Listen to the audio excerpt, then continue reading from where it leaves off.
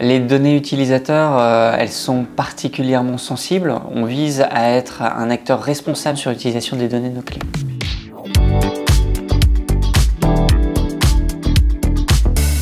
Orange, c'est une grande entreprise de télécommunications qui est connue de beaucoup de gens et qui est présente à travers le monde. Ça permet à tout à chacun de téléphoner et de se connecter à Internet. Mais on fait également, euh, au-delà de ça, des sites Internet, des applications. Dans nos valeurs côté Orange, on cherche à avoir beaucoup de transparence vis-à-vis de nos clients pour les rendre maîtres de leur monde digital.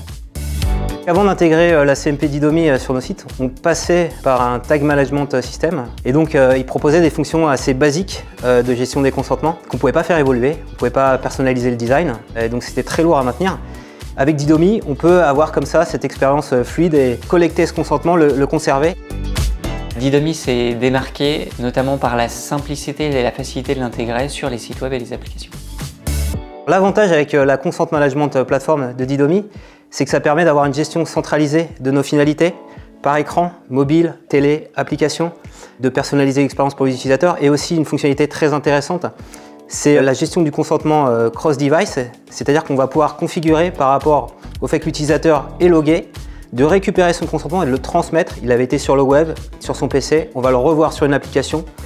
On va pas lui redemander parce qu'on l'aura reconnu et on se souviendra qu'il avait dit oui la dernière fois quand il était sur son PC. Depuis qu'on a mis en place la CMP on a pu augmenter nos taux de consentement d'à peu près 10 euh, points, avec le phénomène de cross-device qui nous évite la resollicitation client. On est parti euh, depuis le début sur une, approche partenariale avec Didomi qui a bien fonctionné pour nos deux entités.